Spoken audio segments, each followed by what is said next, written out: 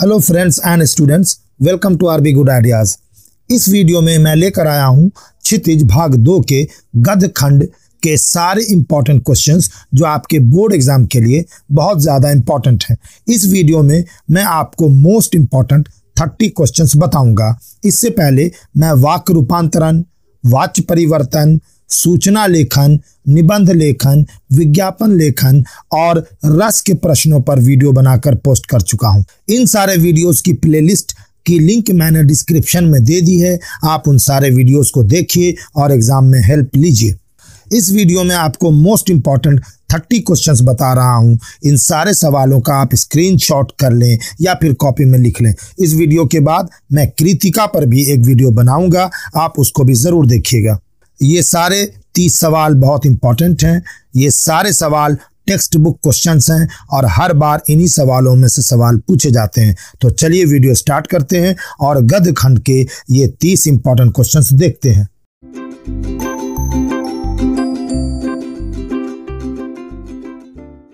गद खंड का पहला पाठ है नेताजी का चश्मा। इस पाठ के लेखक स्वयं प्रकाश हैं। इस पाठ में देशभक्ति का संदेश दिया गया है और बताया गया है कि देश के नागरिकों प्रकृति और जीव जंतुओं से प्रेम करना और उनकी रक्षा करना भी देशभक्ति है। इस पाठ से आपको मैं केवल चार प्रश्न बता रहा हूँ।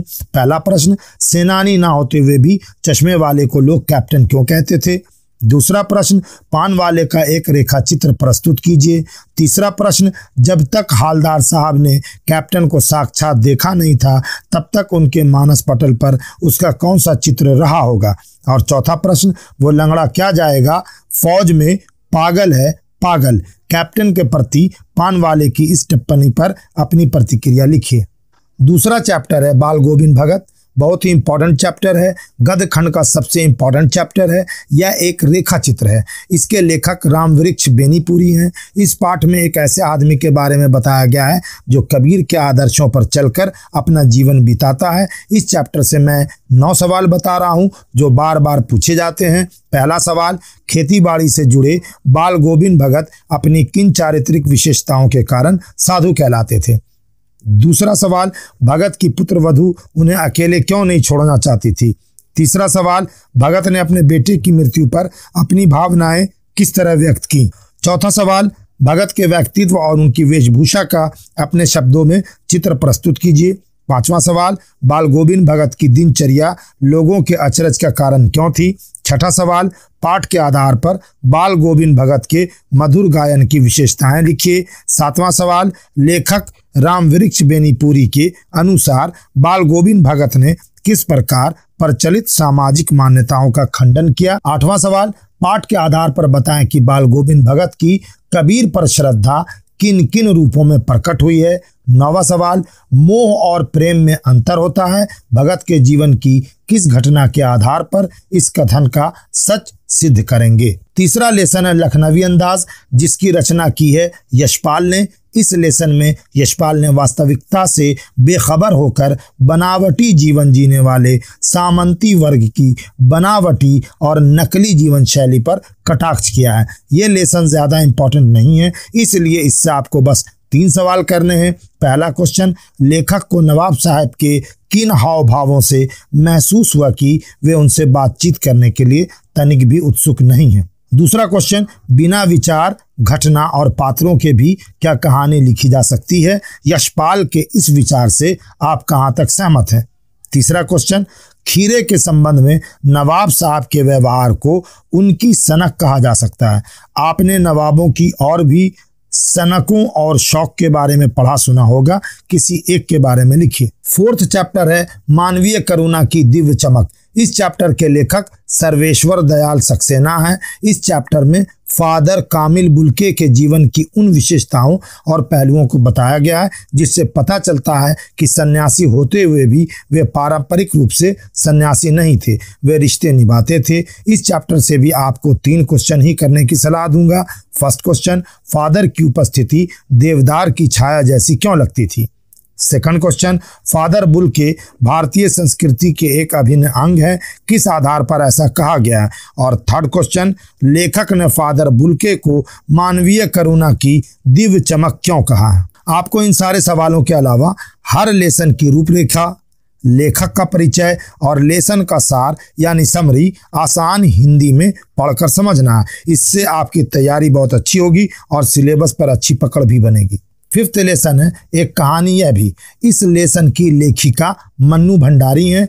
इसमें उन्होंने ऐसे लोगों और घटनाओं के बारे में बताया है, जिनका संबंध उनके लेखक के जीवन से रहा है, जैसे उनके पिताजी और उनके कॉलेज की प्रिंसिपल शीला अग्रवाल। साथ ही उन्होंने स्वतंत्रता आंदोलन का भी वर्णन किया है। इस लेसन से आपको बस तीन सवाल करने हैं। पहला सवाल, लेखिका के व्यक्तित्व पर किन किन व्यक्तियों का किस रूप से प्रभाव पड़ा? दूसरा सवाल, वह कौन सी घटना थी जिसके बारे में सुनने पर लेखिका को ना अपनी आँखों पर विश्वास हो पाया और ना अपने कानों पर?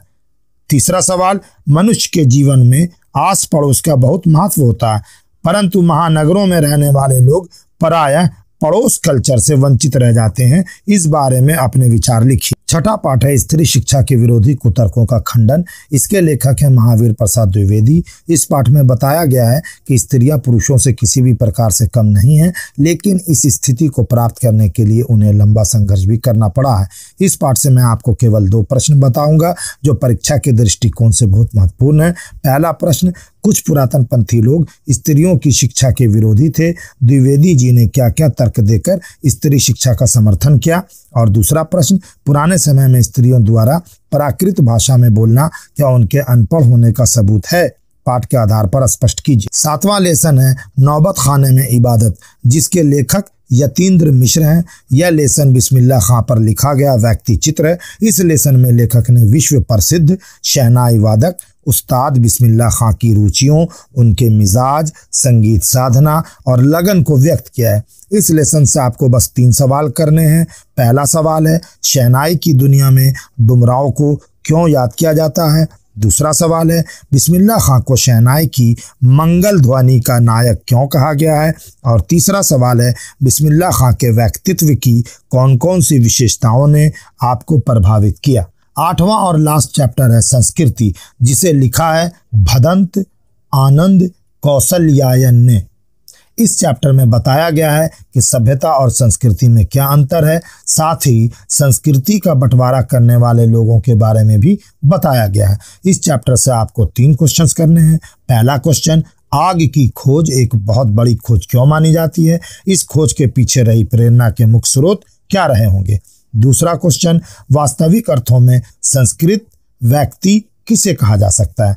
और तीसरा क्वेश्चन किन महत्वपूर्ण आवश्यकताओं की पूर्ति के लिए सुई धागे का आविष्कार हुआ होगा? तो दोस्तों, ये थे मोस्ट इंपॉर्टेंट तीस क्वेश्चंस क्षितिज के गध सेक्शन से आप चाहें तो इसके अलावा भी कुछ क्वेश्चंस तैयार कर सकते हैं। वैसे भी निगेटिव मार्किंग तो है ही नहीं, इसीलिए कोई भी क्वेश्चन आप ना छोड़ें और सोच समझ कर सारे क्वेश्चंस का आंसर दें। आंसर लिखने में डरें बिल्कुल भी नहीं।